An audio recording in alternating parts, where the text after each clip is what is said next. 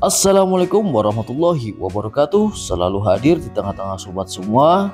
Semoga sobat semua dalam keadaan sehat walafiat tanpa kurang suatu apa pun.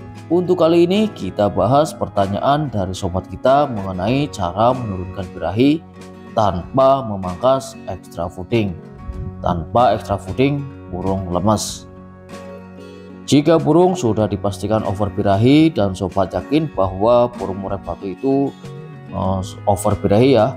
Dan sobat khawatir ketika untuk menurunkan birahinya dengan cara memangkas ekstra fooding burung akan lemas oke mungkin ini akan membantu sobat dalam mengatasi murai batu yang over birahi sebelum itu silakan sobat dukung channel Muraido dengan klik tombol subscribe nya dan terima kasih.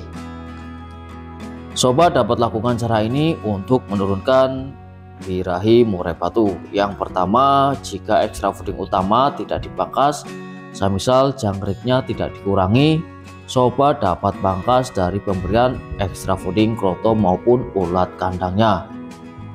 Bisa dari mengurangi porsinya maupun mengurangi eh, dari segi pemberiannya ya.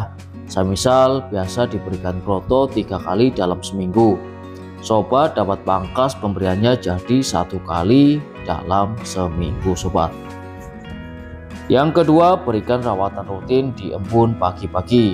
Ini juga dapat menurunkan birahi murai batu dengan catatan ya. Sebelum diembun burung jangan diberikan extra fooding EF diberikan setelah rawatan embun saja sobat. Lanjut yang ketiga untuk menurunkan birahi murai batu yaitu untuk penjemurannya durasi kita kurangi terlebih dahulu ya agar tidak semakin naik birahinya sobat. Cukup 10 menit burung dijemur sudah cukup jangan terlalu lama atau bahkan di stop dulu juga bisa sobat. Yang keempat berikan rawatan mandinya lebih sering ya Semisal seminggu hanya sekali saja, bisa ditambah, bisa jadi seminggu tiga kali atau lebih. Bisa mandi pagi ataupun malam hari sobat. Jika mandi di pagi hari, baiknya burung tidak usah dijemur, cukup diangin-anginkan saja agar bulu-bulunya kering sobat.